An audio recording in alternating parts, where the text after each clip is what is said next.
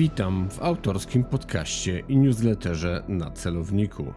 Co najmniej raz w tygodniu usłyszycie Państwo w podcaście, a dwa razy w tygodniu przeczytacie w newsletterze rozważania na temat bezpieczeństwa i jego zagrożeń, ze szczególnym uwzględnieniem terroryzmu oraz służb specjalnych. Bezpośrednio na Wasze skrzynki e-mail trafi przegląd mediów wraz z autorskim komentarzem.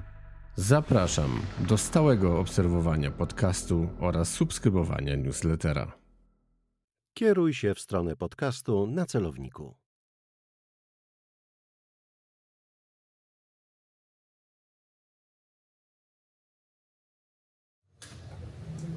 Zdecydowanie zmieniająca się rzeczywistość geopolityczna, często w sposób bardzo mocno nieoczywisty. Czy staje się zagrożeniem dla nas, dla naszych sąsiadów, w jaki sposób musimy przeciwdziałać? Czy tak naprawdę liczby, o których słyszymy, jeśli chodzi o naszą armię, o nasze siły zbrojne, przecież to nie te same dokładnie pojęcia, czy te liczby nie są w pewien sposób, tutaj oczywiście cudzysłów, polityczne? W jaki sposób firmy, zwłaszcza sektora małych i średnich przedsiębiorstw, ale także i te większe i korporacje powinny znaleźć się w obecnej sytuacji, odnaleźć się, w jaki sposób odpowiadać na zapotrzebowania państwa. W jaki sposób państwo również powinno to wszystko kontrolować, nadzorować, mieć w pewien sposób nad tym wszystkim pełną kontrolę z zabezpieczeniem antykorupcyjnym, antywywiadowczym, antysabotażowym, antydywersyjnym, a ostatecznie jak to wszystko sfinansować. Dzień dobry Państwu, nazywam się Artur Dubiel, reprezentuję Uniwersytet WSB Merito oraz podcast na celowniku. Dzisiaj w naszej dyskusji udział wezmą w kolejności zdecydowanie niealfabetycznej generał broni Waldemar Skrzypczak, były oraz dowódca wojsk lądowych. Pan doktor Dionizy Smoleń, PWC Polska, zajmujący się, właśnie sprawami obronności. Koleżanka pani, pana doktora, pani Barbara Brzezińska. Również z firmy PWC. Tutaj kwestie finansowania. Myślę, że w pewien sposób dużo od pani Barbary się dowiemy. No i przechodzimy jeszcze do panów prezesów. Ja sobie pozwolę, żeby nie przekręcić nazwiska. Pan Michał Lubiński, pełnomocnik zarządu. Partner przy okazji naszego wydarzenia, naszego panelu. I na sam koniec, może perełka, być może, pan, pan prezes Cezary Dominiak, niedaleko tutaj funkcjonująca spółka Rekomat, znamy produkty, szanujemy, mówiąc bardzo mocno roboczo, lubimy.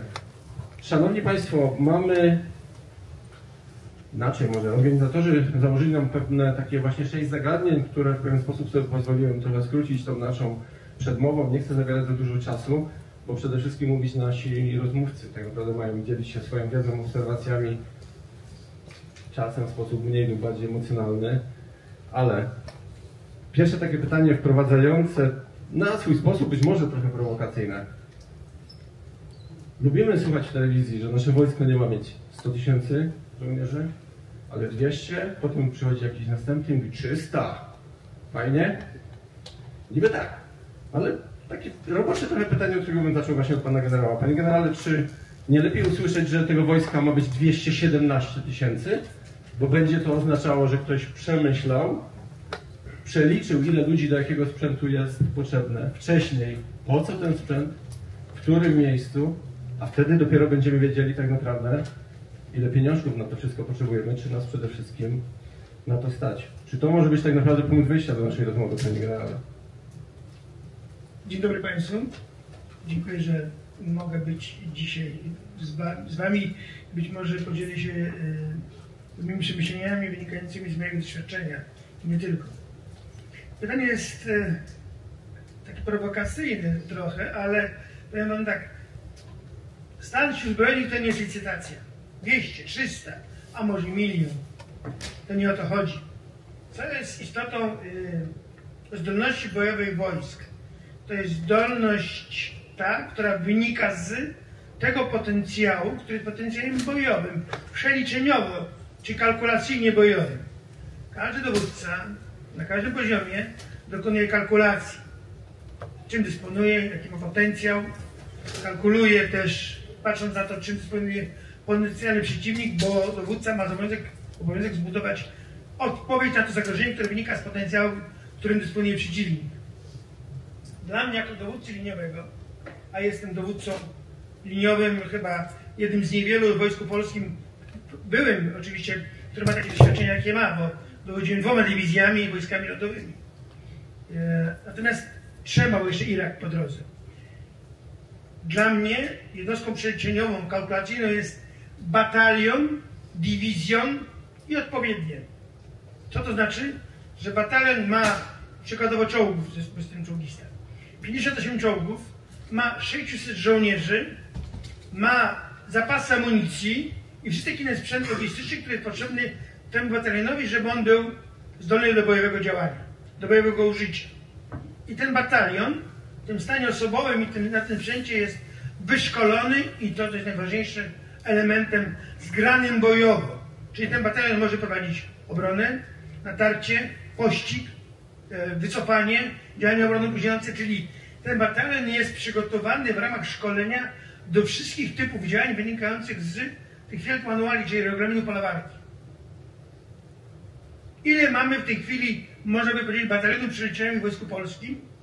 To nie jest te 300 tysięcy. To nie jest odpowiedź na, na moje pytanie, co to stanowi sobą te 300 tysięcy. Ile batalionów i brygad mamy gotowych do bojowego użycia? Ile możemy w tej chwili zaangażować do obrony na wschodniej granicy w przypadku agresji Rosji brygad, batalionów bojowych, zgranych bojowo, przygotowanych żołnierzy perfekcyjnie wyszkolonych? lepiej nie mówmy, ja tej odpowiedzi nie udzielę i, i lepiej, żeby nikt nie udzielał, bo będziemy tym mocno rozczarowani, bo te 300 tysięcy stanie się jakąś iluzją, która jest wynikająca chyba z tego, że mamy zaszłości z poprzedniego systemu, a nazywa się ta zaszłość propaganda sukcesu. Nie jestem zwolennikiem propagandy sukcesu, nie szeruję tymi hasłami. Ja bym chciał bardzo i to wynika z między innymi z mojego doświadczenia bo wiem na czym polega przygotowanie tego komponentu bojowego, bo się na tym znam, bo to całe moje życie wojskowe robiłem. Także niech Pan nie oczekuje do mnie e, odpowiedzi na pytanie, jakim potencjałem dysponujemy, bo chyba nikt nie wie tak naprawdę, czym dysponujemy. A te nie oczekiwałem, Panie Generale, ale dokładnie chciałem, żeby to też z pewnych wiarygodnych ust zabrzmiało, że żebyśmy się nie dawali tymi ustami ku, takim tekstom y, kupować. Panie doktorze, a jak to wygląda, jeżeli spojrzymy z punktu widzenia podmiotu, nazwijmy to prywatnego, tak? bo jednak nie jesteście w sektorze państwowym jako, jako firma z tego, z tego sektora, ale też bardzo mocno wspomagacie. Tak samorządy, jak i przede wszystkim i organizacje, e, które są związane z aparatem państwowym. Jak wy na to patrzycie? Bo macie pewien luksus, ja bym powiedział. Niestety w aparacie państwowym, z czym z panem generałem niejednokrotnie się spotykaliśmy, no, za nami jest taka betonowa ściana i myślę, że nie muszę tego rozwijać. Wy macie trochę inny luksus. Oczywiście inne też są oczekiwania, inne, inne wskaźniki, inne mierniki i o co innego w tym wszystkim chodzi. Ale jednak też macie spojrzenie na to i macie przede wszystkim ten potencjał też intelektualny. Jak wy na to spoglądacie? Dziękuję na wstępie za zaproszenie do, do panelu. Tak trochę prowokacyjnie też zacznę, skoro pan generał nie udzielił odpowiedzi na pana pytanie, to to trudno oczekiwać, tym bardziej, że mnie udzielił i myślę, że z pełną pokorą trzeba też na to zagadnienie e, spojrzeć, zwłaszcza e, w kontekście tego, co, co wojskowi mają do powiedzenia tutaj. Natomiast kilka refleksji z mojej strony. No, wydaje mi się, że patrząc na, na zagadnienie obronności, no trzeba na to spojrzeć tak całościowo, systemowo i, e, i, i, i strategicznie. I, mm, ja sobie o tym myślę tak, że, że tym naszym celem w tej obecnej sytuacji geopolitycznej jest zwiększanie zdolności obronnych i zwiększanie potencjału, potencjału odstraszania. Czyli to by znaczyło, że tak naprawdę musimy mm, naszemu, naszej armii dostarczyć oręż najwyższej jakości, zapewniający mu przewagę technologiczną y, na polu, y, na polu walki. I oczywiście to mówię o tym też wszystko w kontekście, w kontekście współpracy y, sojuszniczej y, w ramach NATO, co to jakby jest, jest, oczywiście bardzo kluczowe. To jest jakby jedna strona medalu, ale moim zdaniem to jest druga strona medalu, no bo żeby armia nas obroniła jest potrzebny, potrzebny potencjał, potencjał gospodarczy i wydaje mi się, że w naszym interesie jest, przyjmując, że tym naczelnym celem jest to zwiększenie zdolności obronnych i y, potencjału odstraszania, czyli zapewnienie bezpieczeństwa państwu i obywatelom, to tym drugim celem, y, który jakby kroczy za nim powinno być, y, powinien być wzrost potencjału gospodarczego gospodarczego Polski, powiązany właśnie z tym, z tym, wysiłkiem, z tym wysiłkiem obronnym. No i tutaj parę jakby nazwijmy to uzasadnień dla, e, dla, tak, dla tak wysnutej e, tezy. Po pierwsze, i to wybrzmiało też w wypowiedzi pana generała, no, potrzebujemy w jakimś stopniu samowystarczalności na poziomie krajowym, na przykład w kwestiach, w kwestiach amunicyjnych, żeby w przypadku zagrożenia być w stanie, być w stanie się obronić. Mówiąc prosto, potrzebujemy tej zdolności na przykład do produkcji amunicji w kraju. E, druga kwestia e, oczywiście jest związana także z łańcuchem e, dostaw, czyli żeby ten łańcuch dostaw sprzętu, wyposażenia, mm, części zamiennych, paliwa był jak najbliżej, jak najbliżej nas. Do tego też potrzeba mocnej, mocnej gospodarki. Potrzebujemy też, wydatki na obronność no, są gigantyczne jeżeli też weźmiemy pod uwagę cykl życia, cykl życia sprzętu wojskowego, no to tak naprawdę to, co kupujemy, to odpowiada za około 20-30% całkowitych kosztów, kosztów użytkowania tego sprzętu. No więc jeżeli jako państwo mamy to utrzymać, to powinniśmy w jak największym, maksymalnym stopniu włączać nasz krajowy przemysł, naszą krajową, krajową gospodarkę w utrzymanie wytrzymanie tego. E, no i jeszcze, e, jeszcze trochę rozbudowując ten wywód na temat tej drugiej strony medalu, no i na koniec dnia idealnie byłoby jeszcze, żeby na, tych, na tym wysiłku obronnym skorzystała polska gospodarka, czyli żeby te wydatki na obronność, gigantyczne wydatki na obronność stały się impulsem do rozwoju, do rozwoju e, polskiej, polskiej gospodarki. No, w tej wypowiedzi zaszyłem w cudzysłowie wiele zagadnień, które myślę, że można byłoby rozwinąć, jak kwestia współpracy przemysłowej za granicą, no bo przecież nie oszukujmy się, nie jesteśmy w stanie w tej chwili samodzielnie być samowystarczalni technologicznie i zdobyć się na tą samowystarczalność na poziomie krajowym. Musimy współpracować z innymi podmiotami, trzeba to robić w sposób mądry i systemowy, trzeba powiększać E, ten zakres własnej autonomiczności. Tutaj się też kłania e, obszar B plus R. E, te wydatki powinny być, też powinny być wyższe, czy one też powinny, powinny rosnąć na badania, na badanie rozwój. To może tyle tytułem wprowadzenia. Dziękuję. Bardzo serdecznie dziękuję. Panie doktorze, oczywiście będziemy niektóre z tych wątków, by nie powiedzieć nawet większość za chwilę rozwijać i przy okazji zrobi to pewnie Pana koleżanka z firmy. Pani Barbaro, a jak właśnie tymi finansami w tym wszystkim. Oczywiście ten temat za chwilę dopiero będziemy bardziej pogłębiać, ale pod tym kątem tego naszego wspólnego wstępu, tak aby każdy z Państwa mógł się w pewien sposób odnieść pod kątem własnej specjalizacji, własnej działalności. Jasne. Szanowni Państwo, e, finansowanie e, sektora obronności, sektora zbrojeniowego. No, temat, e, temat szeroki, z jednej strony, natomiast patrząc na to, co my dzisiaj mamy dostępne dla polskich przedsiębiorców, tak jak tutaj bym zapytała e, panów prezesów, e, bo pewnie mają swoje plany inwestycyjne i rozwojowe, to niestety za dużo nie znajdziemy. I to jest właśnie ten e, dzisiejszy paradoks, że my w momencie, w którym zaczynamy bardzo intensywnie rozmawiać o finansowaniu sektora zbrojeniowego, nie jesteśmy na to przygotowani od strony e, przepisów, od strony takiej systemowej finansowania. Oczywiście, jak powiemy o badaniach i rozwój, e, małe firmy, rozwój technologii, które mogą również się przydać sektorowi zbrojeniowemu, no to jak najbardziej. To tutaj jestem w stanie Państwu e, wachlarz pewnie tych możliwości wymienić. Natomiast jeżeli my mamy zwiększać nasze zdolności produkcyjne w zakresie broni, amunicji, no to finansowanie na ten moment takie publicznie dostępne jest bardzo mocno ograniczone. Więc jeżeli będzie później chwila, żeby rozwinąć ten temat, to jak najbardziej. Natomiast dzisiaj mówię o tym, że jesteśmy w trudnym momencie, jeżeli o to chodzi. Zdecydowanie Pani Barbaro dziękuję. Oczywiście będziemy te wątki bezwzględnie rozwijać. No i przechodzimy do Panów przedstawicieli tak naprawdę branży, która ma w pewien sposób zapewnić to nasze bezpieczeństwo poprzez swoje dostawy.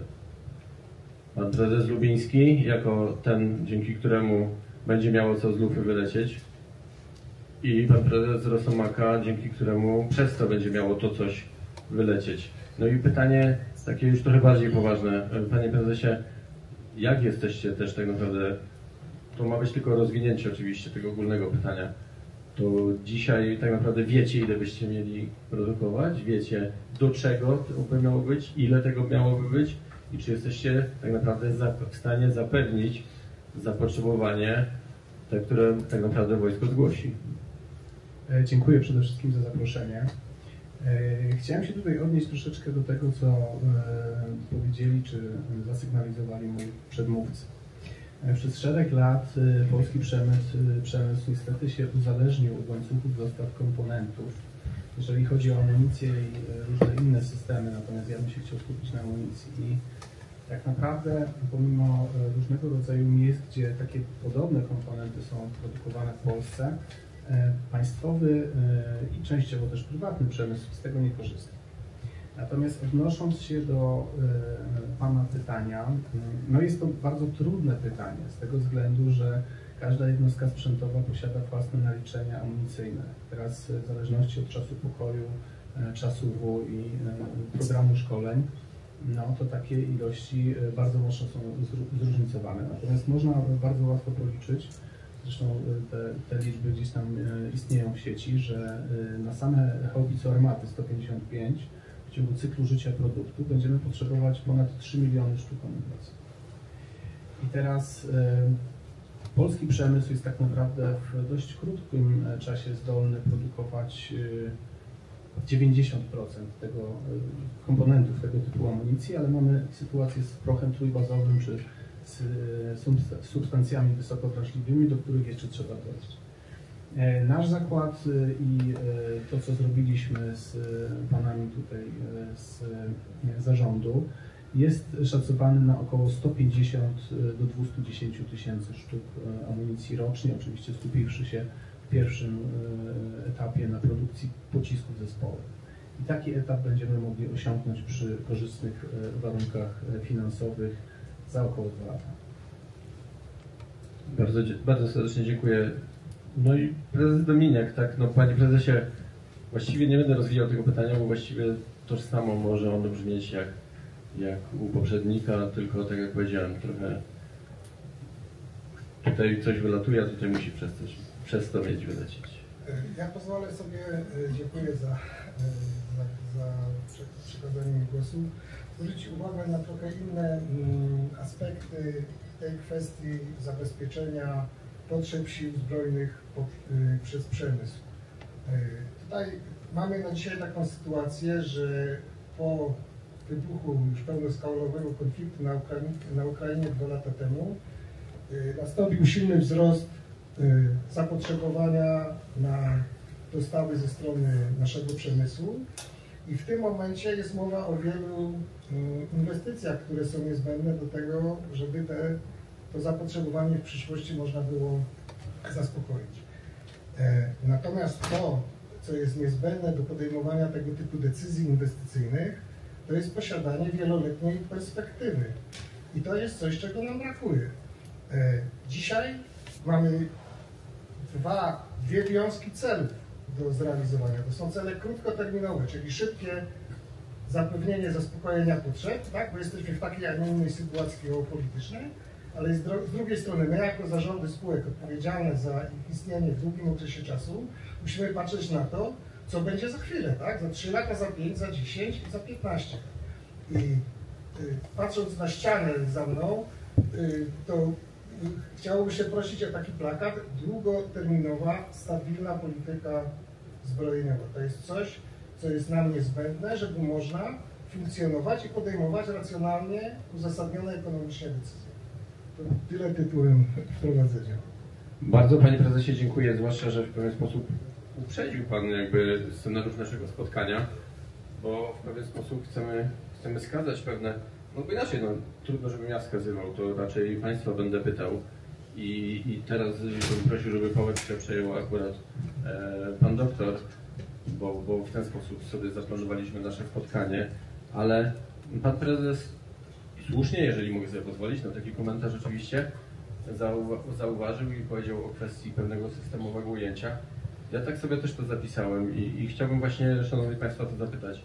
Czy my w ogóle takie systemowe ujęcie posiadamy? My, aby na pewno mamy potencjał, przede wszystkim ten ludzki, jeśli chodzi o strategię, czy my tak naprawdę sensownie tą strategię realizujemy? Pamiętajmy, że te nasze podstawowe cele, cele związane z bezpieczeństwem wynikają przecież z naszej konstytucji. No i po drodze zahaczają oczywiście o strategię bezpieczeństwa narodowego. Biała księga, tu pana generała może dopytam potem w kuluarach, co z tym zrobić. No właśnie, która. I, no ale to daje pewne odpowiedzi na pytania, czy raczej może wątpliwości, bo jeśli chodzi o analizy i potencjał właśnie ludzki w tym aspekcie, tego mamy. Z tą strategią osobiście mam pewne wątpliwości. I czy tak naprawdę przez to, tu są te pytania do Was, czy tak naprawdę tutaj możemy mówić, że w ogóle mamy system tak naprawdę w tym wszystkim, o czym my mówimy, tak? Jesteście przedstawicielami różnych dziedzin, różnych podmiotów, ale zasadniczo przecież wszystko ma stworzyć system. Pamiętajmy, że system jest to zbiór powiązanych pewnych podmiotów, które mają pewien wspólny cel przecież, prawda? Dalej, czy tak naprawdę ta jakość w państwie no, ma odzwierciedlenie w sektorze prywatnym, a właściwie to pytanie powinno wyglądać na odwrót. Czy to, co jest w sektorze prywatnym i to, co się udaje zrobić, tak samo się udaje po stronie państwa? No i czy te strategie nie za często sobie zmieniamy, czy mamy problem z założeniami, bo przecież tak naprawdę strategie powinniśmy, czy cele strategiczne powinniśmy mieć jedne. I one wynikają tak naprawdę, Szanowni Państwo, tutaj też mały apel do słuchaczy, no, z definicyjnych podstaw, jeśli chodzi o bezpieczeństwo. No, co ma tym być? No? Przetrwanie i rozwój, tak? Ale czy nasz cel strategiczny związany z przetrwaniem się zmienia? Czy cel strategiczny związany z rozwojem, czy się zmienia? Czy tak naprawdę kierunek, w jakim ewentualnie to będziemy, Szanowni Państwo, realizować? No tutaj też pytanie, czy nie mylimy momentami, no, może niekoniecznie my, bo jeszcze się Państwo mogli urazić, nie miałem takiego celu, ale czy nie jest bardzo często mylona strategia z taktyką? To też jest bardzo ważne i o czym mam wrażenie, że nie tylko się nie zapomina, wręcz się nie widzi, nie? Widocznie też przeciwnik na nas tak oddziaływuje, abyśmy pewne podstawowe rzeczy tak naprawdę mylili. No i przechodzimy do tego, o czym też między innymi Państwo wspominali. Badania, nauka, rozwój, wdrażanie, implementacja. To wszystko wydaje się, że musi mieć miejsce. Czy te działania dzisiaj nie są za wąskie? Sektorowe, branżowe, resortowe, bo tak lubimy to nazywać, ale czy ta diagnoza w jakiś sposób jest słuszna, czy Państwo się z tym zgadzają, czy może macie całkowicie inny tego obraz? Panie lektorze, oddaję głos. Dziękuję bardzo, ale postawił Pan moderator wysoko poprzeczkę, poruszając tyle Inaczej nikt Was nie zapraszał. E, ważnych kwestii, ale ja powiem tak, no, skoro Pan powiedział, że nie taktycznie, tylko e, strategicznie, no to, no to może wyjdźmy od tej strategii, a potem o systemie, bo te dwa, to są dla mnie takie dwa słowa klucze z Pana wypowiedzi, strategia i system. No, strategia służy realizacji pewnej, pewnej wizji. No, co, co ma być tą wizją? No, moim zdaniem tą wizją ma być zapewnienie bezpieczeństwa pa, y, państwa i zapewnienie bezpieczeństwa obywateli.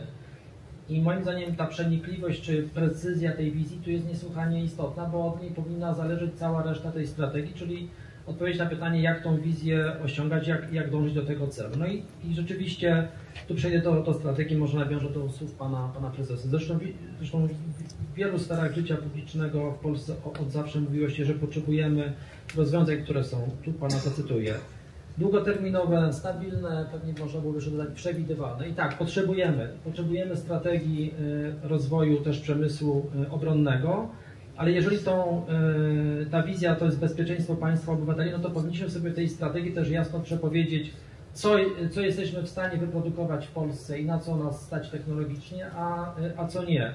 I to powinno być moim zdaniem też pewne strategiczne, strategiczne przesądzenie, bo może nie powinniśmy się specjalizować we wszystkim, tylko w tym, gdzie mamy już określony potencjał, więc być może są te elementy y, wyposażenia czy, czy, czy rzemiosła wojskowego, gdzie musimy to zaimportować, są te elementy, gdzie możemy posłużyć się lice- licencją, są te też elementy, gdzie możemy jakimś joint venture y, się posłużyć i pewien y, technologiczny potencjał przejmować od partnera i- stopniowo go w Polsce realizować. No i powinna też być duża, duża sfera y, duża sfera tej technologicznej suwerenności, gdzie decydujemy się na badania i rozwój, że, że specjalizujemy się w dronach i inwestujemy na przykład jako Polska w systemy dronowe, systemy, systemy anty, antydronowe. I moim zdaniem tych przesądzeń strategicznych nam potrzeba.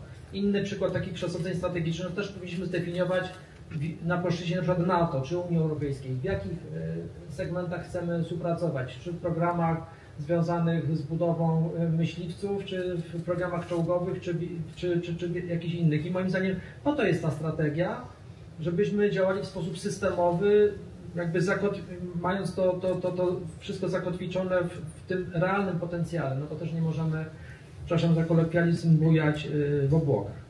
Był Pan łaskaw powiedzieć, no, e, że potrzebujemy systemu. Potrzebujemy systemu,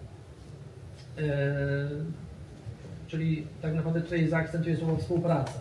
Moim zdaniem w tych pracach nad strategią też potrzebujemy jakiejś inwentaryzacji tego potencjału. No, odbywamy wiele spotkań, spotykamy się w różnych gremiach i bardzo często słyszę z ust przedsiębiorców, także niekoniecznie dużych, że mamy, też byśmy chętnie się włączyli w ten wysiłek obronny, możemy robić, no mamy kuźnie, możemy robić jakieś elementy, elementy do pocisków 155 mm no, moim zdaniem też jest potrzeba, żeby ktoś zrobił taką inwentaryzację tego potencjału, potencjału, y, co my mamy w Polsce w ogóle, czym, y, czym my dysponujemy i co możemy zacząć do tego y, wysiłku. I wtedy rzeczywiście będziemy mówić o tym, że ten wysiłek obronny jest powiązany z taką transformacją gospodarczą Polski, taką sensu lato.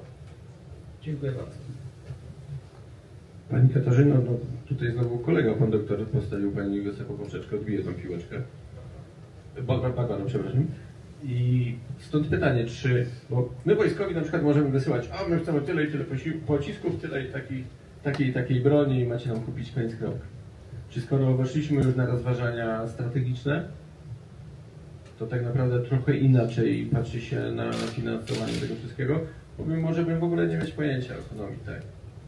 i zgłaszamy zapotrzebowanie, a ktoś mówi, no ale nie mam. No standard pewien, brzydki, ale jednak standard. To jak to tak naprawdę wygląda z tego strategicznego punktu widzenia? E, Dionicy przed chwilą wspomniał o inwentaryzacji i ja pozwoliłam sobie taką inwentaryzację funduszy przeprowadzić e, już jakiś czas temu, co trochę było naszym pomysłem, ale też wymusił trochę rynek i przychodzący do nas zainteresowani tym tematem. I ja bym to podzieliła, oczywiście tak, powiem, że systemowo nie jest dzisiaj to dobrze poukładane, tak jak już we wcześniejszej wspomniałam wypowiedzi. Natomiast ja bym to podzieliła na dwa takie obszary.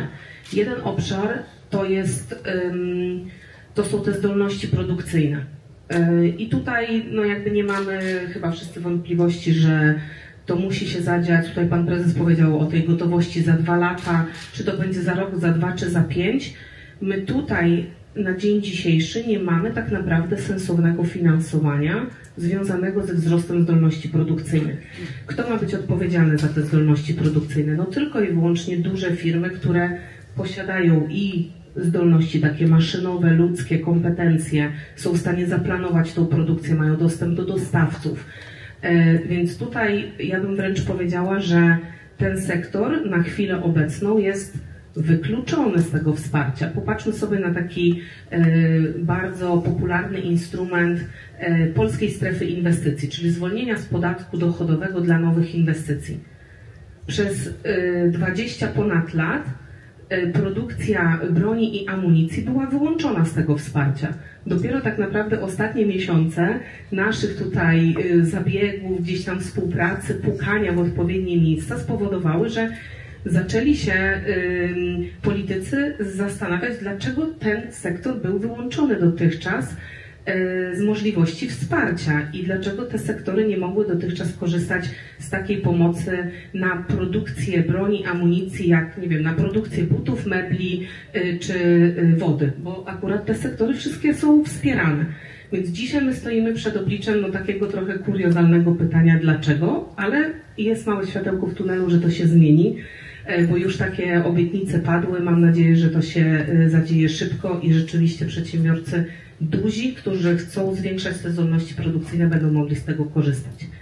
Druga odnoga tego finansowania to jest już to przeze mnie wspomniane B plus R, czyli badania, rozwój, innowacje, nowoczesne technologie. I tutaj jak najbardziej, czy to będą duzi przedsiębiorcy, czy mniejsi, czy startupy, mamy bardzo dużą mnogość pozyskania tego dofinansowania. E, natomiast musimy się zastanowić, mm, jakie tak naprawdę te sektory pokrewne y, są nam potrzebne, żeby wspierać przemysł zbrojeniowy.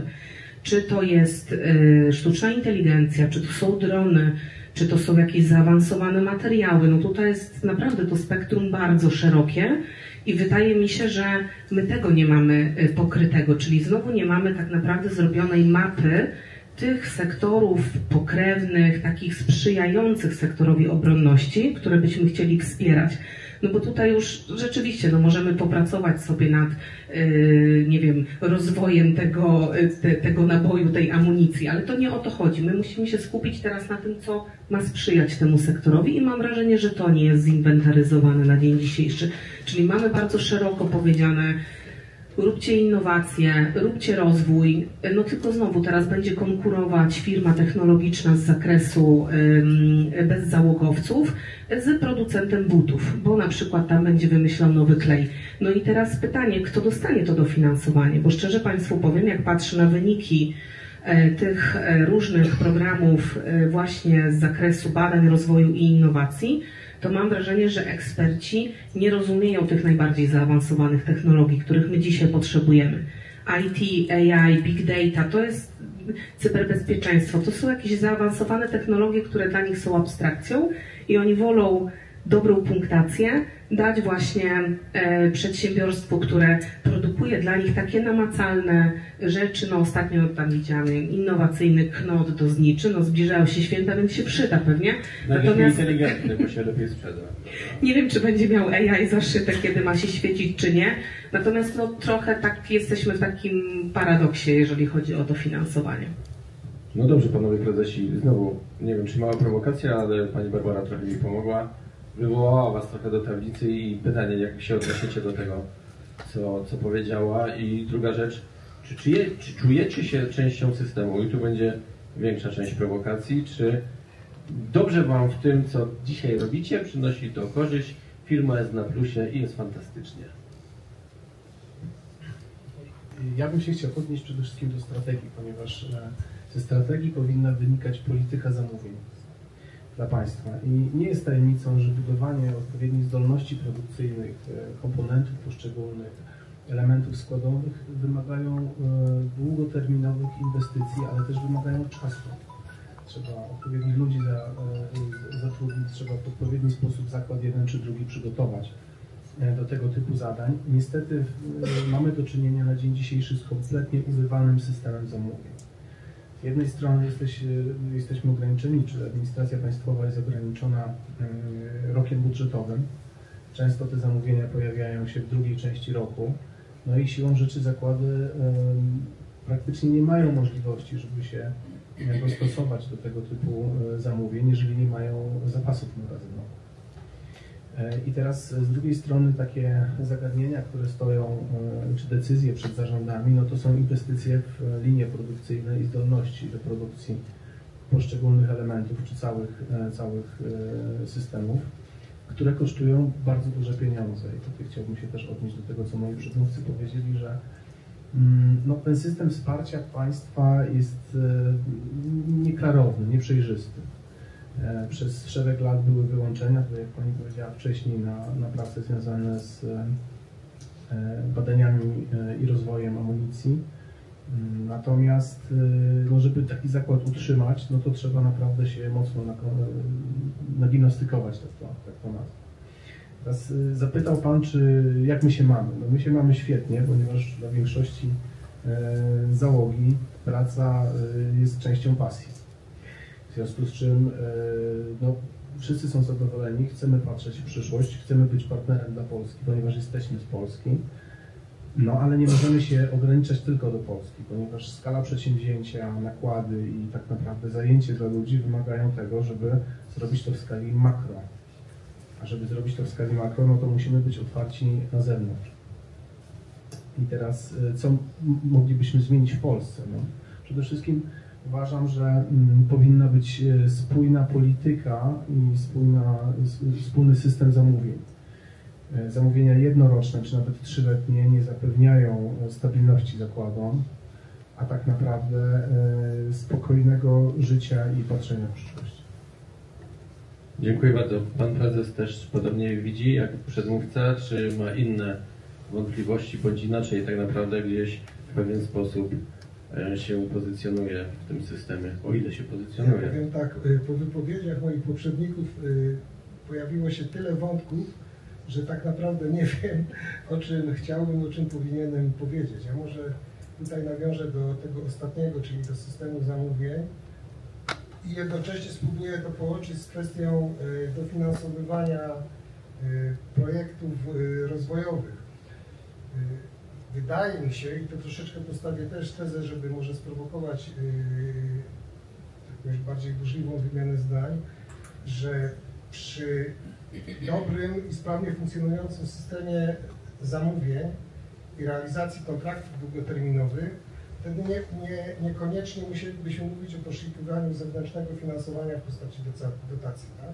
Bo dobry biznes, dobrze poukładany, on się będzie w stanie sam obronić i znaleźć finansowanie na rynku. Panie prezesie, wejdę w zdanie. No, macie trochę łatwiej. Macie produkt rozpoznawalny nie tylko w Europie, nie? Bo ktoś, kto konkurencją w cudzysłowie, ale jednak dla Was jest na tym rynku, powie, no my nie mamy takiej siły przebicia. Ale słuchajcie, ale w tym zakładzie 20 lat temu nie było nic.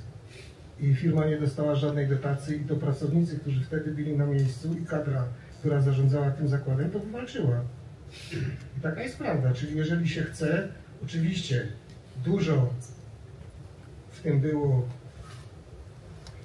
wysiłku, dużo zagrożeń, dużo przeszkód, które trzeba było wykonać, ale jeżeli chce się, to da się. Tylko to wymaga pracy, takiej codziennej pracy, a tutaj my w Siemianowicach pracujemy właśnie. E, Ja pozwolę sobie jeszcze wrócić na chwilę do kwestii y, finansowania. W takim krótkim terminie, y, patrząc teraz, dwa lata temu po wybuchu wojny nastąpił bardzo intensywny wzrost zamówień. To, to widać również w polskim przemyśle zbrojeniowym. I co się stało? A, zamówienia te finansowane są głównie poprzez y, zaliczki udzielane przez Ministerstwo Obrony Narodowej e, wykonawcom. I to jest bardzo dobre rozwiązanie. Ale coś, czego w zasadzie niewiele osób, co niewiele osób przewidziało, doprowadziło do zatkania się systemu finansowego. Bo zaliczki, po to, żeby można było je wziąć, trzeba zabezpieczyć albo gwarancją bankową zwrotu zaliczki, albo gwarancją ubezpieczeniową. Poziom zamówień wzrósł na tyle, że system y, bankowy doszedł do swoich limitów. Tak? I to stało się ograniczeniem później możliwości finansowania. To, ten temat został rozwiązany w jakimś tam stopniu, ale ja widzę, co się dzieje dzisiaj. I, i ten problem wróci w roku przyszłym i w latach kolejnych. I to są kwestie, które wymagają bieżącego zarządzania na poziomie systemu finansowego państwa w celu zapewnienia możliwości finansowania dostaw na potrzeby sił zbrojnych RP. Dziękuję.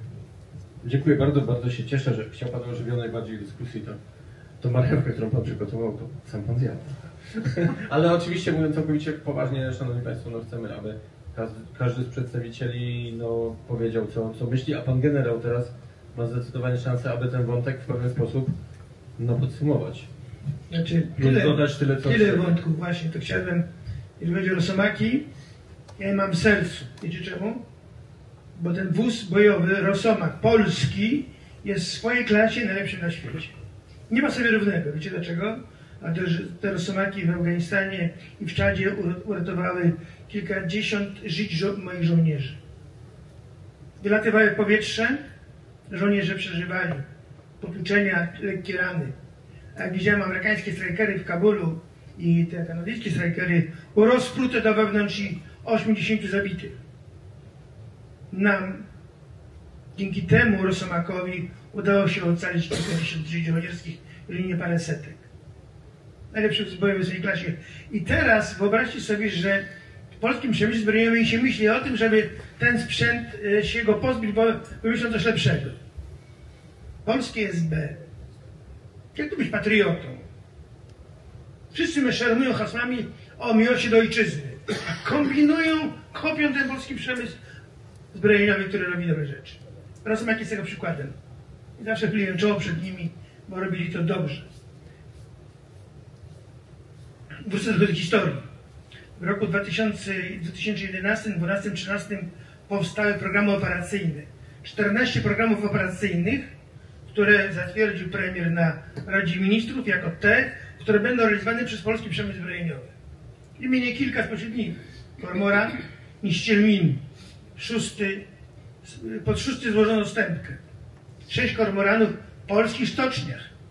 Jakbym opowiedział historię, jak wtedy wiceministra obrony narodowej szykanowano za to, że w polskim przemyśle, w polskiej stoczni ulokowało to zamówienie. Borsuk, Kryl, wieża bezzałogowa, która kosztowała mnie karierę jako wiceministra, bo uważałem, że my zrobimy polską wieżę, a wtedy lobbyści zamówili artykuły wyborcze, które zrobili ze mnie tak skorumpowanego faceta, że miałem na działce zakopane 5 milionów dolarów. Ja to powiedziałem publicznie i słuchajcie, liczyłem, wiecie na co? Że ktoś mi działkę skopie. Nikt nie przyszedł. Taka jest, tak, taka jest polska rzeczywistość. I zobaczcie, że te 14 programów operacyjnych jest realizowanych nadal. Mimo tego, że rządy się zmieniały od 2012-2016 roku, te programy są realizowane. Można? Można. I teraz wracając do tego, co Państwo mówili, chciałbym bardzo, żebyście pan, Państwo może byli, panowie, pani, pani doktor i Pan doktorze, inspiratorami, może inicjatorami takiej konferencji w problemach, które Wy mówicie o tym, jak budować ten potencjał Polski, jak go finansować. Bo wiecie co, mam wrażenie, że ci, którzy odpowiadają za to, nie mają pojęcia o czym, za co odpowiadają. A Wy widać wyraźnie macie kompetencje. I życzyłbym Wam, żebyście byli inicjatorami takiej konferencji dla małych i średnich przedsiębiorstw, do czego jeszcze za chwilę. W armii, w sztabie generalnym opracowuje się plan rozwoju sił zbrojnych na lata do przodu. Na 10, 15, 20. I ten plan rozwoju wytycza strukturę sił zbrojnych i wyposażenie sił zbrojnych. Czyli to, co się powinno adresować do przemysłu zbrojeniowego polskiego i tego, który z Polskim kooperuje. To wynika z planu rozwoju sił zbrojnych, z kolei z planu rozwoju wynika ze strategii państwa, bo państwo określa, do czego mają być gotowe siły zbrojne. I odpowiedzią na to, do czego mają być gotowe, to jest plan rozwoju sił zbrojnych na te lata, co powiedziałem. Czy taki plan jest? Mam wrażenie, że go nie ma. Że w tej chwili kraciewsko chaos. Na poziomie strategicznym. Bo nie ma, moim zdaniem, w tej chwili wizji. Bo uważam, że te plany strategiczne to budują wizjonerzy. Ale chyba na wizjonerów zabrakło. I teraz wracam do małych i średnich przedsiębiorstw. Wydaje się, że największym problemem małych i średnich przedsiębiorstw jest to, że one sobie o sobie wzajemnie nie wiedzą nic i one, i ten, ta wiedza jest bardzo rozproszona. Ja przekonałem się, że w małych i średnich przedsiębiorstwach przedsiębiorstwach jest ogromny potencjał technologiczny, o którym ci, którzy odpowiadają za przemysł zbrojeniowy, w ogóle nie wiedzą. Znam kilkadziesiąt firm małych i średnich, które mają ogromny potencjał technologiczny, najwyższy poziom. Najwyższy poziom. Pomijam to spółki niektóre Skarbu Państwa, które dalej mają te maszyny na pedały, mówiąc kolokwialnie.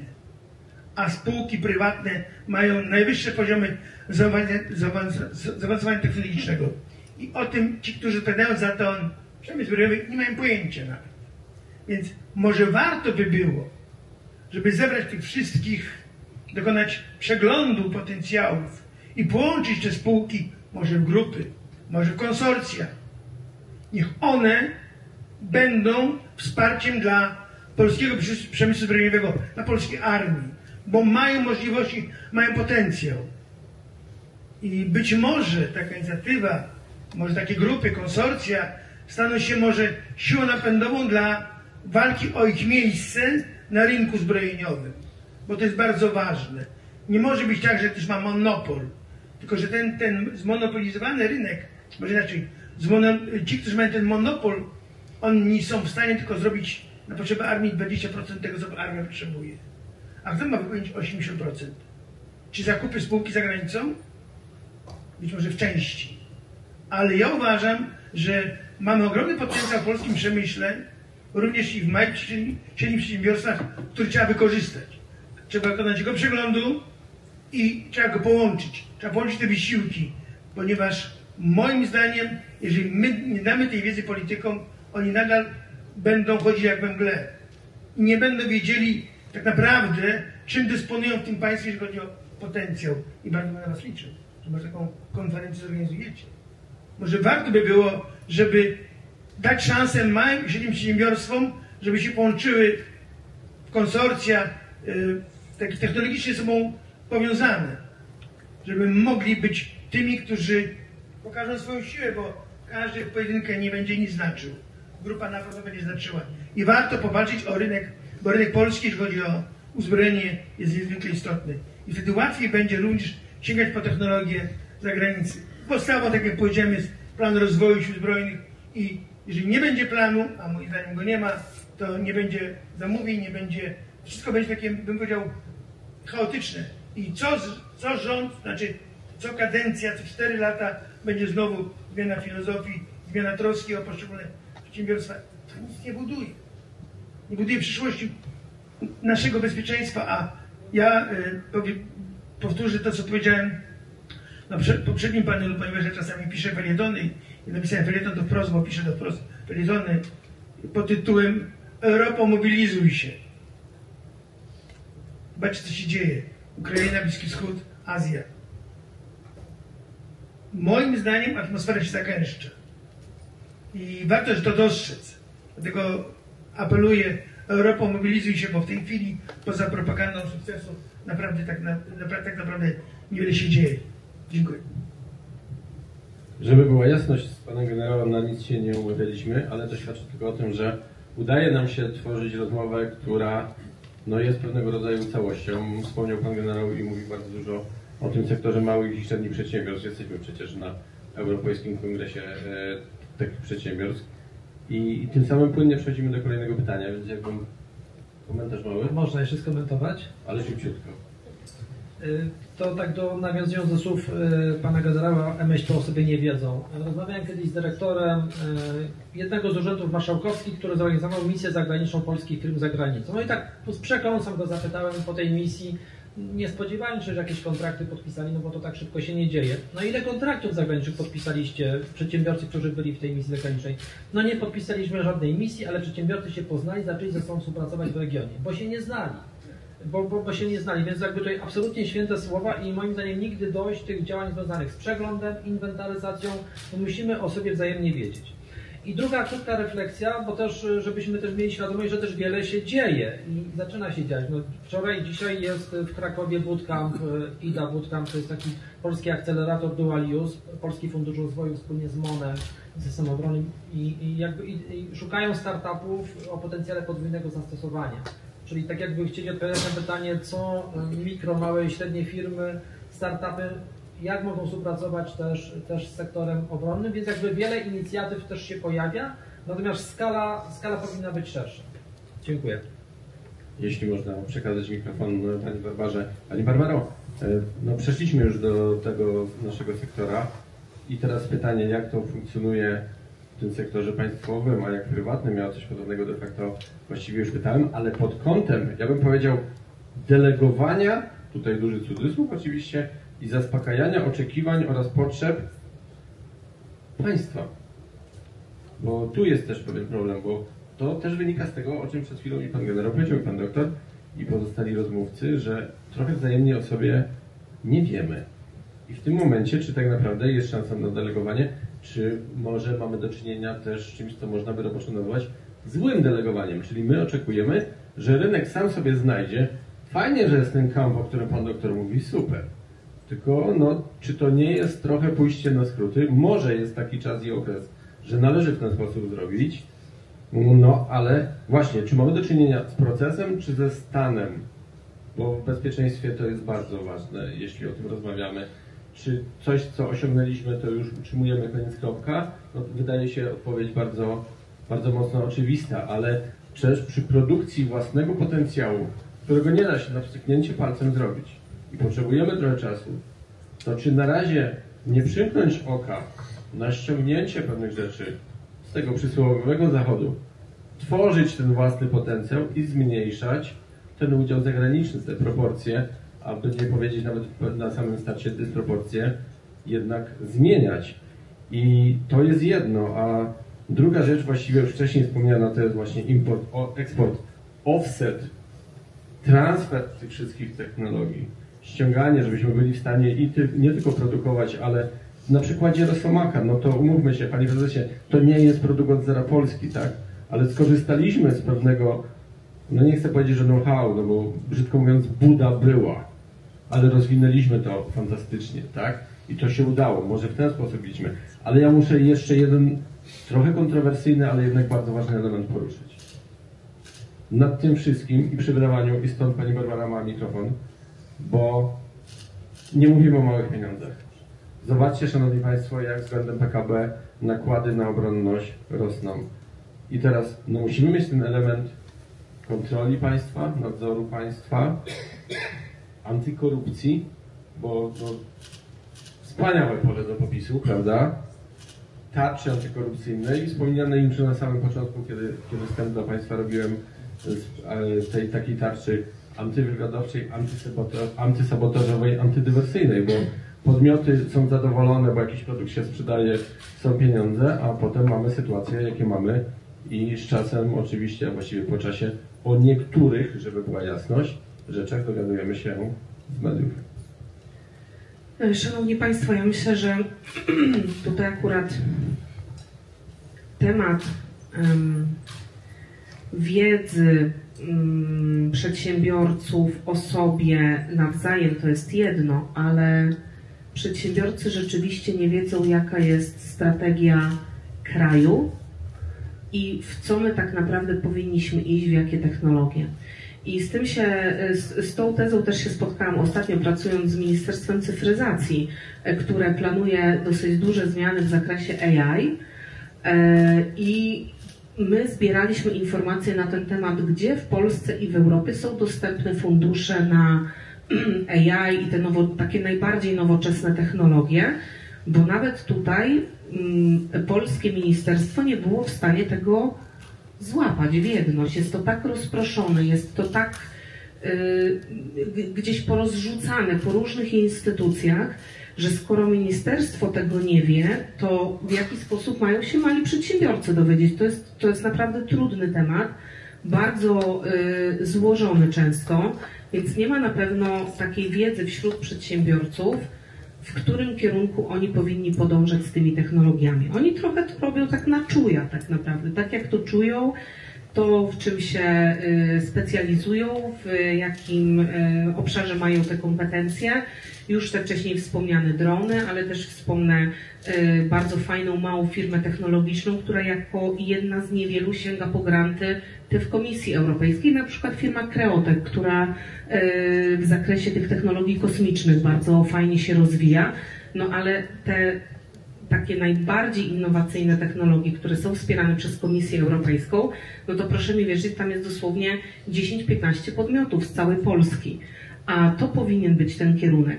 Tutaj też oczywiście to, co, to, co pan generał powiedział, to konsolidowanie się, takie zbieranie się w te grupki tematyczne. To czemu nikt tego nie wymyślił? To nie jest jakiś rocket science, tak? To, to, to, to, to, jest, to jest oczywiste. Te instytucje, mam wrażenie, wszystkie, które tymi pieniędzmi dysponują, publicznymi, dotacjami, czy to w jakiś tam inny sposób, wchodzą kapitałowo, wchodzą gdzieś tam na udziały, to wszystko już było testowane. To wszystko już było, były programy sektorowe.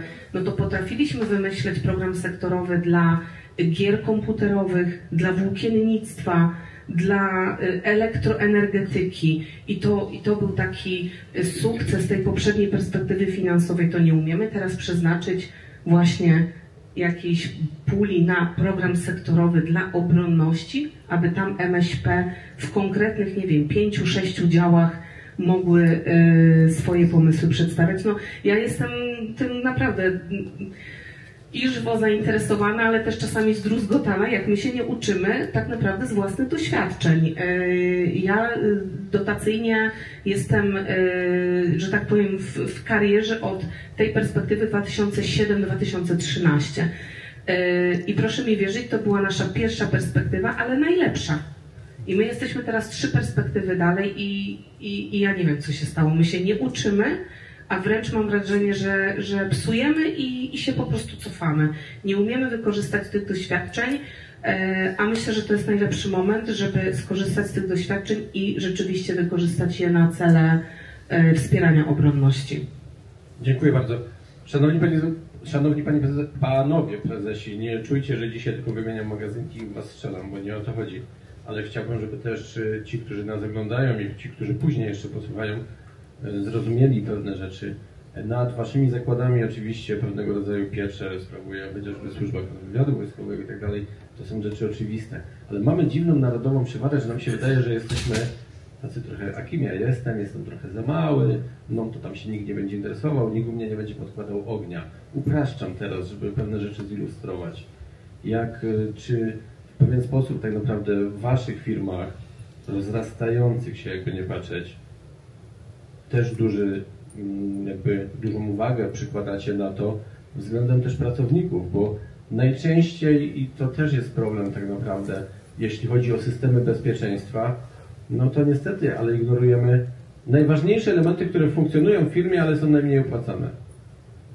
Często niestety sekretariaty, firmy sprzątające, zabierające jakieś tam rzeczy do prania czy tym podobne, ochrona i tak dalej. A to są tak newralgiczne właśnie elementy systemu bezpieczeństwa, gdzie naprawdę nie trzeba być wielkim inżynierem, jeśli chodzi o psychologię, aby wywołać naprawdę duże kuku, przepraszam za to słowo, a wiemy po przykładach z Europy, że takie rzeczy się dzieją, a wiele rzeczy pewnie jest skazane jako a przypadek, jakieś tam kabelki się połączyły, błąd elektryka. E, tak, jest to bardzo e, wymagający obszar. E, tak jak Pan wspomniał, zakład głównie kierunkuje się na to, żeby się rozwijać, żeby gromadzić zamówienia, żeby rozszerzać portfel swoich produktów. Natomiast to bezpieczeństwo gdzieś jest postawione z boku i teraz zakłady, które produkują czy przetwarzają materiały wysokoenergetyczne są szczególnie podatne na różnego rodzaju pomysły przeciwników, e, pomysły takie, żeby destabilizować gospodarkę, ponieważ e, zamach w e, zakładzie jednym czy drugim nie jest tylko i wyłącznie związany z zakładem, ale angażuje dookoła różnego rodzaju służby. Uwaga jest odwrócona od innych aspektów. Ja doskonale pamiętam sytuację z Blachowic z 2014 roku, gdzie zostało, jak się potem okazało, wysadzone składy w Republice Czeskiej pod jurysdykcją Instytutu. I to spowodowało kompletną blokadę e, terenu na przestrzeni kilku tysięcy hektarów. E, także wracając e, akurat do naszej skali związanej z zakładem w Niewiadowie, oczywiście rozwijamy tego typu systemy ochrony, natomiast ogromnym zagrożeniem E, biorąc pod uwagę dzisiejsze pole walki, są drony różnego rodzaju, zarówno te komercyjne, jak i e, drony bardziej profesjonalne. No i tutaj e, kłania się temat związany z badaniami i rozwojem na temat systemów antydronowych, ponieważ tego typu newralgiczne obiekty powinny oprócz ochrony fizycznej, odpowiednich procedur posiadać ochronę antydronową w systemie hard kill, czyli tak naprawdę jakiś efektor który będzie te drony neutralizować w przypadku przekroczenia pewnej strefy dostępu. Także ogromne nasze wysiłki, rzeczywiście planujemy otworzyć e, osobny dział z tym związany, ale z racji tego, że pracujemy z e, różnymi e, instytucjami natowskimi, tak to nazwę, tego typu warunki bezpieczeństwa po prostu będą narzucane i to będzie coraz bardziej restrykcyjne. Dziękuję bardzo. Śmiało, panie prezesie, śmiało. Ja się odniosę do jednego z ostatnich zdań odnośnie systemów y, antydronowych, właśnie typu na przykład Hardkill a, i możliwości ich zastosowania w czasie pokoju, bo to jest problem. Tak? Bo możemy Chodzi panu o pewne ujęcie prawne, tak? Dokładnie tak. Tu znowu odwołanie do naszej klasy, klasy polityczno, polityków i urzędników, tak? do stworzenia pewnych ram prawnych, których można, mo- można działać, tak? czyli również o systemach zabezpieczenia po prostu elektromagnetycznego tak? w, w, tej, w, tej, w tej sferze naszego zakładu to jest tak samo. Nie? My mamy pewne rozwiązania, natomiast nie, nie, nie możemy ich użyć, bo tam parę ludzi, nie wiem, rozruszniki im się wyłączyły na ulicy. Tak? To są poważne problemy. Tak? I, ale, ale to jest ten moment, to jest ten czas, w którym rozwiązania prawne powinny być dyskutowane i dopracowywane po to, żebyśmy mogli później fizycznie przygotowywać się na neutralizację określonych e, zagrożeń.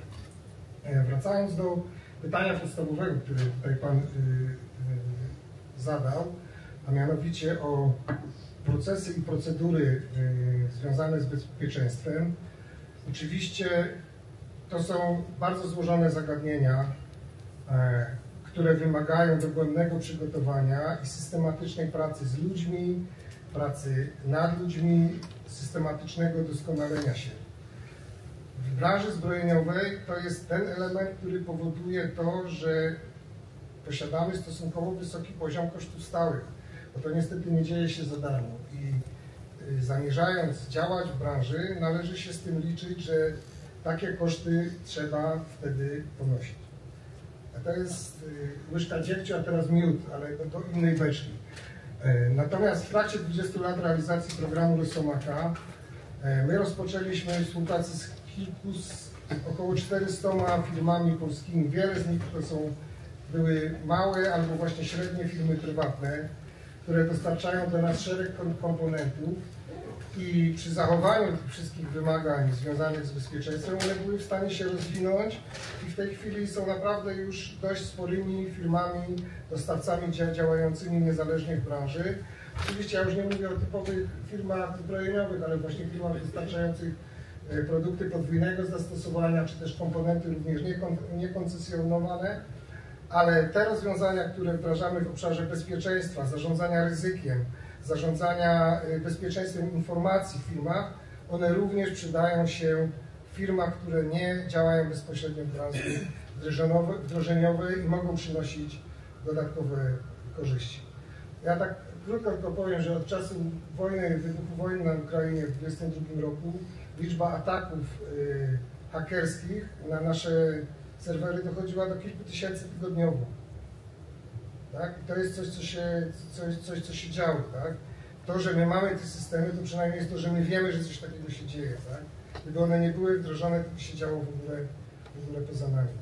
I to jest coś, co mówimy, o, y, to jest coś, co jest związane właśnie z technologiami IT, ze sztuczną te- inteligencją, wdrażaniem nowoczesnych rozwiązań informatycznych. Y, I tutaj my no, gonimy tą technologię, bo to jest nasze być albo nie być, to jest nasze bezpieczeństwo. Bezpieczeństwo zawsze kosztuje. Bardzo dziękuję e, Panie Prezesie. Panie Generale, bo to chyba nam właściwie w pewien sposób najbliższe e, dwa terminy, sabotaż i dywersja. Dzisiaj przynajmniej jeszcze o jednym z nich tak dużo nie słyszymy, raczej o tym drugim w wykonaniu no zazwyczaj właśnie nie, nie Polaków, że tak się wyrażę. Przepraszam za, za sformułowanie. Ale przed chwilą powiedziałem, że bezpieczeństwo przede wszystkim kosztuje. Jego tak nie do końca idzie dotknąć, żeby sprawdzić, pojąć, zrozumieć. Tutaj może też y, to pod kątem tego, co, o czym mówi Pani Barbara, ale nie wiemy, czy tak naprawdę to, co wdrożyliśmy, do końca przyniosło ten efekt. Pan prezes przed chwilą mówił tak naprawdę, chociaż nie użył tego sformułowania o świadomości, świadomości tego, tego co się dzieje. Pan generał, jak na to wszystko patrzy, to tak naprawdę tej dywersji i sabotażu spodziewa się więcej, bo to, że jedno z nich już jest, to jest więcej niż pewne, a drugie, no to głośno pewnie o tym jeszcze nie mówimy, ale możemy się domyślać, że ma miejsce, a motywacje sprawców zawsze będą różne. No to jest przecież ten katalog działania służb specjalnych, również tych, też tych wojskowych. Generalnie uważam, że jesteśmy w, st- w stanie zagrożenia y, i sabotażami, i dywersją, i wszystkimi jeszcze y, wydarzeniami, czy może atakami różnego rodzaju, które, których jeszcze nie doświadczyliśmy, a które Putin i jego ekipa przeciwko nam szykują. Ja wykluczam w tej chwili w ciągu jakiejś perspektywie em, takiej przewidywalnej do 5 lat powiedzmy wie- wojny wielko, wielkoskalowej z Rosją. Absolutnie wykluczam. ponieważ potencjał rosyjskiej armii jest w tej chwili zaangażowany po pierwsze w Ukrainę, po drugie jest mocno poturbowany, potrzebuje otworzenia, bo to, że ponoszą, że, że, mają, że tracą czołgi, czy drony, czy, czy samoloty, to jest jedno, ale im brakować zaczyna doświadczonych, wyszkolonych ludzi, bo to jest główny problem. I to tej kadry, która może szkolić. To jest, y, zasoby ludzkie są na wyczerpanie, a generalnie zasoby ludzkie wykwalifikowane. I to jest problem Rosjan. Natomiast nie unikniemy tego, co się dzieje w wyniku tej wojny hybrydowej. My w zasadzie jesteśmy obiektami uderzeń od dawna wojny psychologicznej, wojny tej informacyjnej i teraz wojny hybrydowej, która skumulowała naszą całą uwagę na wschodniej granicy i, i tam wszystkie systemy nam dostępne, które mamy już i które mi niebawem będziemy mieli w Sowierze, będą na tej granicy. Y, panowie mówili o między systemach antydronowych. Są prowadzone prace i mamy właśnie w przemyśle prywatnym rozwiązania, które są innymi, nie kinetycznymi, ale są, wykorzystują impuls elektromagnetycznej energii skierowaną. Doskonale się sprawdzają. Tylko, że to jest przemysł prywatny i mały. No to jest problem dla decydentów. No, małe polskie firmy takie coś wymyśliły, a jednak. I teraz do czego bierzemy? Dla mnie e, z wojskowego punktu widzenia najbardziej szkodliwa jest wojna informacyjna, czyli która przekształca się w wojnę psychologiczną. Zwróćcie uwagę Państwo, co się dzieje w Polsce w momencie, kiedy w polską przestrzeń powietrzną wpadnie dron. Przypadkowa rakieta. Co się dzieje natychmiast po komunikacie dowództwa operacyjnego zaczyna się histeria. Bo to, co się dzieje w mediach, inaczej jak histerię nazwać nie można. Wszystkie media wpadają w stan obłędu, który doprowadza do histerii również i polityków, którzy straszą Polaków tym, co się wydarzyło, a ten poziom tego, tego nakręcenia tą historię jest niesamowity. I wszyscy o tym mówią, wszystkie media przez kilka dni tłuką ten temat, strasząc Polaków. Polacy są zdezorientowani. Tak pytanie moje jest do Was. Komu to służy? Przecież to służy Putinowi. Przecież to jest wojna psychologiczna. Wpadają wszyscy w obłęd w Polsce. A media są narzędziem, czy może pasem transmisyjnym strategii Putina. Bo to one nakręcają.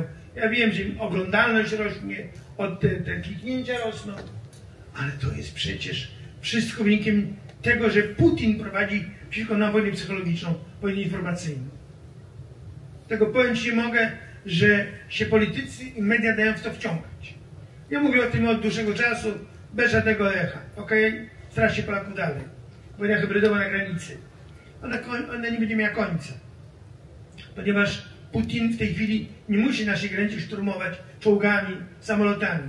Wystarczy, że wysyła migrantów i robi to, co na granicy się dzieje, to kumuluje uwagę naszego rządu i pół armii tam stoi. Pół armii stoi i się szkoli. To co dla Putina nie może być jeszcze lepszego, jak niewyszkolona polska armia, która stoi na granicy i pilnuje płotu. Ja mu nie mówię, że, że nie należy tego robić, ale był czas na to, żeby powołać specjalną formację, która tylko się tym zajmie. Natomiast będzie, a wojsko na poligony i się szkolić. Czego się mamy bać? Właśnie tego, co powiedziałem nie wojny wielkoskalowej, ale tej wojny psychologicznej, wojny informacyjnej, wojny hybrydowej. To jest w tej chwili dla nas największe zagrożenie, z którym będziemy się w tej chwili borykać przez, w tej chwili przez najbliższe kilka lat niestety. I jeszcze powiem więcej.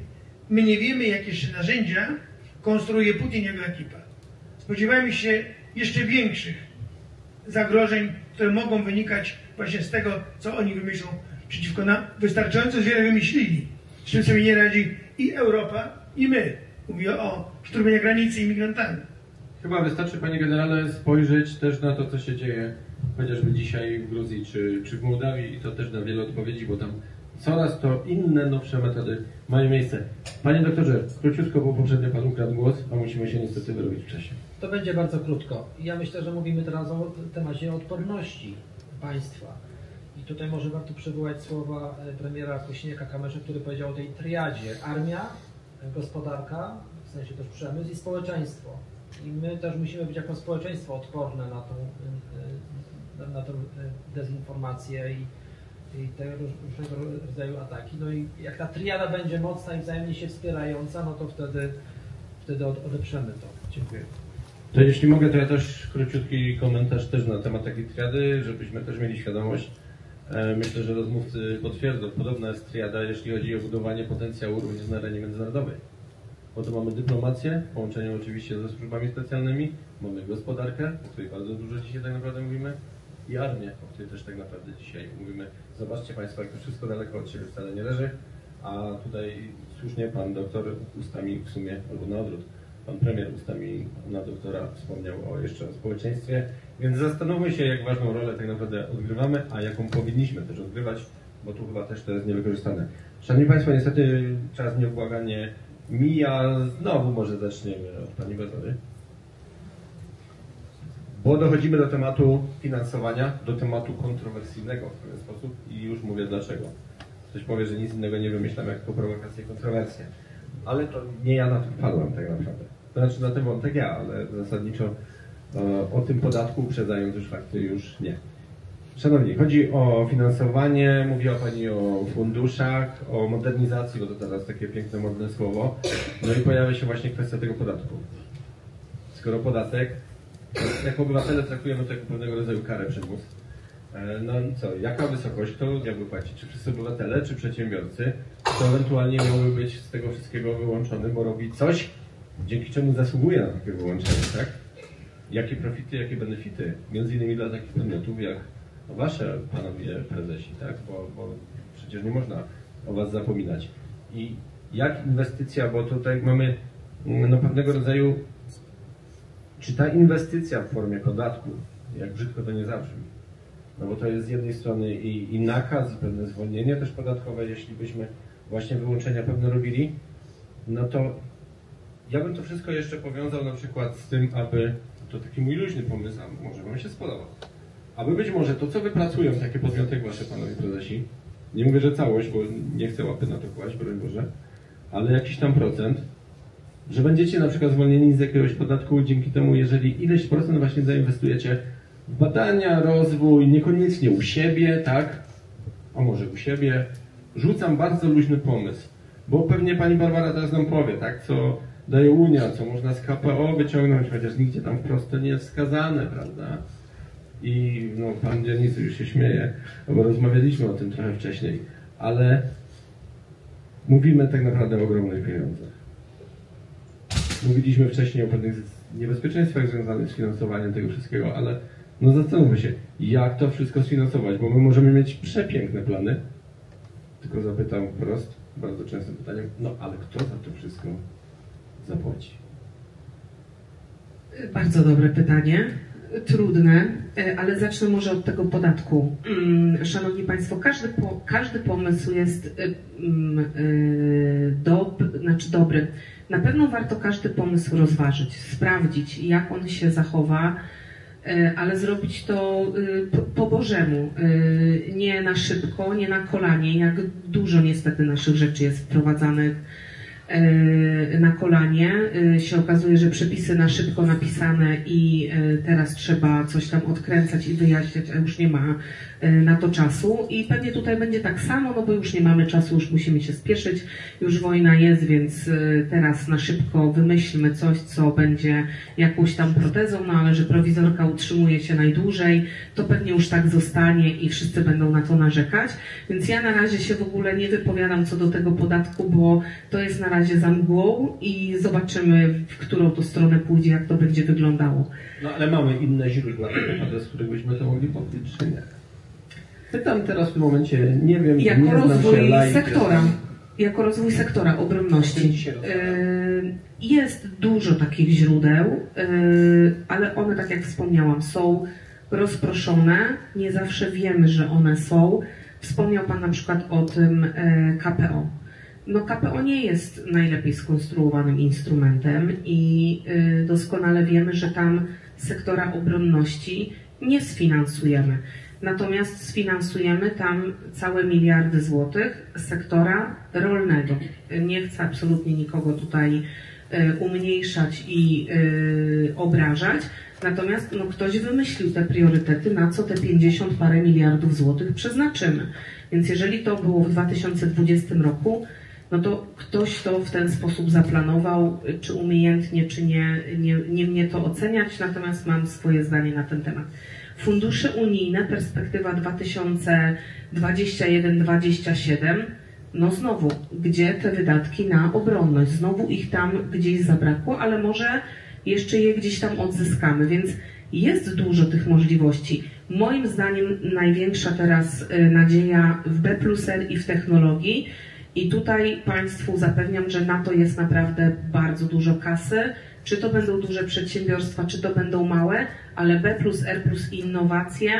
Yy, starajmy się szukać tych źródeł, a jest ich naprawdę sporo i w tym leży duży, duży potencjał. Bardzo serdecznie dziękuję. Panie prezesie, panie Michale, byłby pan skłonny podzielić się i w pewien sposób być może finansować nawet i konkurencję? E, tak, ja się do tego bardzo chętnie odniosę, ponieważ tak naprawdę bardzo dużym zastrzykiem finansowym, e, czy, czy aspektem, który generuje zastrzyk finansowy, to jest konkurencja rynkowa. I e, tak jak w wielu krajach e, natowskich, e, przemysł państwowy jest i działa tak naprawdę e, pod takim systemem kierownictwa podmiotów prywatnych. Na przykład w Stanach Zjednoczonych odbywa to się w ten sposób, że co pewien okres czasu są robione postępowania czy konkursy na administrowanie przedsiębiorstwami państwowymi przez podmioty prywatne. Tak się dzieje na przykład z największym zakładem amunicji małokalibrowej w Lake City, który jest własnością Armii Stanów Zjednoczonych. I teraz co to powoduje? No, po, powoduje to, że zakłady państwowe nie są skupione tylko i wyłącznie na krajowych potrzebach, co z kolei pozwala im rozwinąć strategie i plany długoterminowe. Oczywiście mówię tutaj o produkcji e, produktów, które są klasyczne, amunicja klasyczna, średnio wielkokalibrowa czy małokalibrowa, różnego rodzaju produkcja uzbrojenia, ale otwarcie e, tej możliwości pozwoliłoby tak naprawdę na bardzo duże oszczędności e, z jednej strony w budżecie państwa, a z drugiej strony na nakłady, które są wpisane w regulamin administrowania tego typu przedsiębiorstw, czyli badania różnego rodzaju, czy wdrożeniowe, czy, czy, czy nad nowymi rozwiązaniami. I e, no, nie trzeba szukać w Stanach Zjednoczonych. E, największy zakład e, amunicyjny na Słowacji w ten sposób funkcjonuje. Także, także taki, jest, taki jest mój punkt widzenia i zapraszam, żeby troszeczkę od innej strony spojrzeć na ten aspekt. Bardzo dziękuję. Panie prezesie? Strach odpowiadać, tak? Nie, jak, jak brzmi pytanie? Podobnie jak u, u pana prezesa Michała przed chwilą, czy byłby pan w stanie tak naprawdę oddać część tego, co pan wypracował, na to, aby być może rozwijał się ktoś, kto za chwilę stanie się dla pana solidną konkurencją? Znaczy ja powiem tak. Bo jest takie ryzyko, prawda? Znaczy my podatki tak płacimy, tak? Jak wszystkie, jak wszystkie firmy. Y, nie chciałbym się wypowiadać na temat tego projektu, który Pan był łaskawy na początku y, przytoczyć, bo go nie znam, także trudno, trudno jest mi powiedzieć. Pewnie taki kontrolowany przeciek, powiedzieć, że, że, że entuzjastą nie jestem tego typu rozwiązań, bo musimy mieć świadomość, że każdego rodzaju, każdego rodzaju nowe daniny, one powodują dalszą utratę konkurencyjności gospodarki. A wiemy, że w Europie nie jest z tym najlepiej i tutaj mamy dużo do zrobienia. Tym bardziej, że w branży naszej jeszcze dodatkowo dochodzą efekty takie, że aby, albo inaczej, oddziaływania tego typu, że ze względu na stosunkowo małą skalę działalności, tak, my jesteśmy średnim państwem, bardzo trudno jest zabezpieczyć odpowiednią efektywność ekonomiczną realizowanych projektów, tak, że my nie produkujemy silników do rosomaków. Silniki do rosomaków produkuje dostawca, który produkuje ich 100 tysięcy rocznie, tak? A my pojazdów dostarczamy 100 rocznie. Także to musimy też, mówiąc o zabezpieczeniu potrzeb sił zbrojnych, potrzeb armii, podchodzić racjonalnie i kierować się rachunkiem ekonomicznym. A odnosząc się do konkurencji, to oczywiście my jesteśmy jak najbardziej za, żeby ona rosła, rozwijała się, bo tylko powoduje to, że mamy większą presję na większe samodoskonalenie się i świetnie. Ja Was przepraszam dzisiaj za te wszystkie prowokacje, ale Sami powiedzieliście, że rozmowa ma być ożywiona. Panie generale, jak pan na to patrzy? Okiem wojskowego w sercu, oficjalnie w rezerwie. Czy generalnie mm, do czego zmierzam w tym wszystkim, co mówię i staram się robić. W nas grzemiony ogromny potencjał. On jest niewykorzystanym potencjałem. Wynika on z tego, że nie wiemy e, o sobie wiele tego, co powinniśmy wiedzieć, jeśli chodzi o budowę tych naszych zdolności na potrzeby e, Polski, polskich sił zbrojnych, Polski i polskiego bezpieczeństwa. Nie wiemy też, Pani doktor, tego, co Pani wie, bo wiedza o tym, e, gdzie można sięgać po środki jest bardzo ograniczona. Nie wiesz, czego to wynika. Czy wynika to z tego, że jest bardzo skąpy dostęp do tych informacji, czy one są e, nie dla wszystkich dostępne, czy to wynika z tego, że brak woli w nas lub w moich firmach do tego, żeby sięgać po takie pieniądze, po takie projekty. Mówi Pani o projektach R. Ja znam wiele firm, które mają projekty, ale nie mają środków na ich rozwój. I w tej chwili odnoszę wrażenie, po tym co Pani powiedziała, że wynika to z braku wiedzy. U tych ludzi, którzy mogliby te środki, po te środki sięgać, a nie sięgają. Wobec tego, gdzie tkwi problem w udrożnieniu tego, tego systemu informacyjnego? Ale ja przepraszam Panie Generale, wejdę zdanie, bo to, to, trochę jestem oburzony w pewien sposób, gdyż czy to znaczy, że osoby, które tą wiedzę mieć powinny, czy my tak naprawdę mówimy o luce kompetencyjnej wynikającej z luki informacyjnej, to de facto no, ktoś tych kompetencji nie ma, by zawoływać dane stanowisko? Znaczy ja nie wiem, Pani pewnie powie więcej na temat y, możliwości dostępu do tych źródeł informacji. Ja nie mam takiego dostępu. Znaczy nawet się nie starałem, ale to wynika z tego, że to nie są jakby moje, raz, że kompetencja, dwa, nie jest obszarem mojego zainteresowania. Choć ja projekty wspieram, to jak ja powiedziałem, znam kilkadziesiąt firm, które mają w jednym paluszku wspaniałe projekty, naprawdę wieści mi absolutnie innowacyjne. Tylko brak chyba w nich powera takiego po to, żeby sięgać po te środki lub wiedzy, gdzie w kolejce po środki staną. Tak mi się wydaje, ale to pani doktor pewnie doprecyzuje. E, moim zdaniem wynika to z tego, że ten system informacyjny jest, jakbym powiedział, mało efektywny. I moim zdaniem to nie dociera tam, gdzie powinno docierać. Być może to wynika z tego, że ci, którzy mają tą wiedzę, skąpią ją dla swoich. Czy tak jest? Nie wiem. To może też Pani doktor odpowie. Bo uważam, że dostęp do tej wiedzy powinien być powszechny. Ale to mówię, nie mam wiedzy. Pan. Pani doktor powie. Bardzo serdecznie dziękuję. Panie doktorze, ma Pan szansę na pewnego rodzaju podsumowanie. Nieduże jednak, ale, ale się uda ewentualnie podzielić się jeszcze z koleżanką mikrofonem. No właśnie, bo tak ta koleżanka tutaj też, ale to yy, Basiu, ty teraz czy... No to ja dosłownie 30 sekund, żeby zaadresować yy, te yy, pytania. Yy, ja powiem Państwu szczerze, że yy, dosłownie panel przed tym panelem, na którym jesteśmy, prowadziłam yy, odnośnie euromowy i o tym, jak yy, świat dotacji jest w ogóle odbierany i gdzie my jesteśmy, jeśli chodzi o wiedzę o tym świecie dotacyjnym i mam wrażenie, że on jest wciąż traktowany jako taka wąska dziedzina jakiejś wiedzy, nauki, która jest mocno branżowa. Co najmniej tak jak ja bym Państwu teraz mówiła, nie wiem, o kogeneracji, albo o magazynach energii, albo właśnie o technologiach kosmicznych.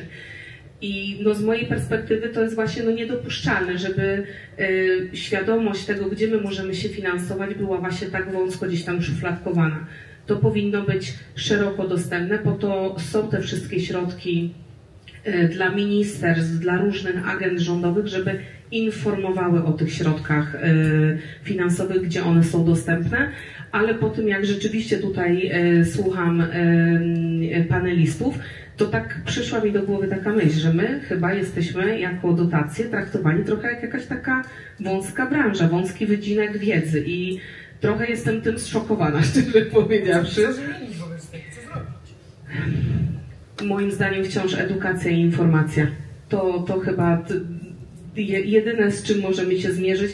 Wydaje się, że dostęp do internetu już jest jakby wszędzie, a właściwie stamtąd my powinniśmy wziąć te, te informacje, tylko może one wciąż są zbyt trudno i skomplikowanie napisane, bo ja jako doradca bardzo często mam problem z tym, żeby rozpoznać intencje tej instytucji, regulaminy, konkursy, setki stron dokumentów, no to jak taki mały i średni przedsiębiorca ma się w tym odnaleźć, gdzie ma bardzo ograniczone zasoby? Jak tam jest kilkanaście osób, które siedzą mocno w tej technologii i jeszcze potrzebują do tego pewnie całego etatu, który im to yy, sprawdzi i w ogóle stwierdzi, czy się kwalifikują. Bardzo dziękuję. No to jak Pani doktorze, teraz Pan. No to ja postaram się zebrać wnioski, e, które tutaj wspólnie żeśmy, mm, że tak powiem, zidentyfikowali. Po pierwsze, mm, strategia, myślenie strategiczne, długofalowe, przewidywalne, też powiązane z polityką zakupową. Po drugie, system, zbudować system. Tutaj kluczem jest słowo współpraca, co Pan generał mówił, współpraca, klastry, integracja e, różnych aktorów, interesariuszy MŚP. Świadomość i współświadomość. Do, dokładnie tak, ale po trzecie też, yy, bo wydaje mi się, że mówiliśmy dużo o rozproszeniu. Potencjał w Polsce jest gigantyczny, tylko że mamy naprawdę dużo rozproszenia. I trzeba to wszystko, i dlatego tutaj bym powiedział po, po trzecie fokus. Fokus zamiast rozproszenia. Basia dała przykład polityk sektorowych, przecież pod fundusze unijne myśmy tyle tych polityk sektorowych zrobili w województwach. Identyfikowaliśmy potencjał, interesariuszy, na, którzy naukowcy z jakimi firmami. To wszystko można przełożyć i wykorzystać. Po czwarte, nisze specjalizacyjne, czyli określmy, w czym jesteśmy mocni. Y, po piąte, odporność państwa, armia, gospodarka, społeczeństwo. No i po szóste, nie mogę sobie odmówić, panie, y, tutaj w stronę moderatora, bo o tych podatkach. Y, podatki to, to jedno, ale tak naprawdę wydaje mi się, że musimy stworzyć coś w rodzaju takiego wehikułu długofalowego myślenia, takiego wehikułu samofinansującego, samopodtrzymującego rozwój obronności i, i, i, całego tego systemu dzięki zakorzenieniu go w polskiej gospodarce, bo żeby się nie okazało, że podatki nie wystarczą, po prostu my musimy zbudować system samofinansowania y, całego potencjału i trochę taki system sprzężenia zwrotnego stworzyć. Te, te, te firmy dzięki B i tak dalej będą też zasilały gospodarkę i, i, i ta wizja transformacji gospodarczej, no niech będzie jakąś, przepraszam za wyrażenie, korzyścią tej całej sytuacji geopolitycznej, która no, miejmy nadzieję jak najszybciej się, się ustabilizuje i, i żebyśmy byli bezpieczni. Dziękuję. Dziękuję bardzo serdecznie Panie Doktorze, dziękuję za tę formę podsumowania. Powiem szczerze, że nie wiem, może zaskoczę zarówno i naszych prelegentów, jak i publiczność, ale tak naprawdę chciałem Was zostawić po tym naszym spotkaniu z pewnymi znakami zapytania. Chciałem sprowokować do myślenia, chciałem sprowokować do samodzielnego wyciągania wniosków, opierania się oczywiście na opiniach i przemyśleniach e, gości, którzy są ekspertami, tak naszymi dzisiejszymi gośćmi oczywiście. Nie ze wszystkim się musimy zawsze zgadzać, ale czasem i z tych możliwych rozmów przecież interesujące wnioski można wyciągnąć, więc mamy nadzieję, że dzisiaj pewnie po południu czy wieczorem, jak sobie przypomnicie to nasze wspólne spotkanie, to zaczniecie się nad pewnymi kwestiami zastanawiać, Pewnie z różnych środowisk jesteście, różne stanowiska piastujecie, więc być może pewne i te własne przemyślenia też, brzydko mówiąc, przepchniecie dalej, a to być może spowoduje, że też jakiś proces decyzyjny gdzieś się zainicjuje i być może do tych ludzi ktoś z Was jeszcze będzie dzwonił i prosił o jakąś konsultację, pomoc i tak dalej, i tak dalej. A dzisiaj specjalnie dla Państwa przyjechali tutaj Pan Prezes Cezary Dominiak, Rosoma Kesa. Dziękuję. Pan prezes Michał Lubiński, pełnomocnik zarządu.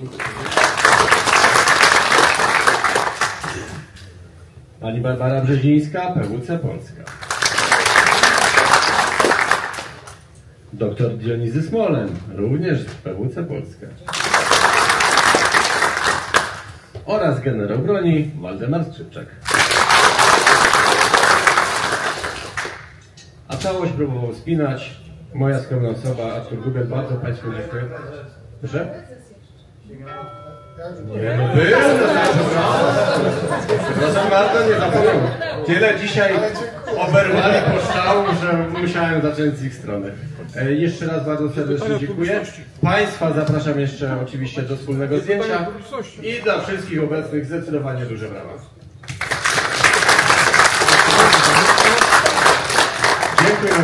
Kieruj się w stronę podcastu na celowniku.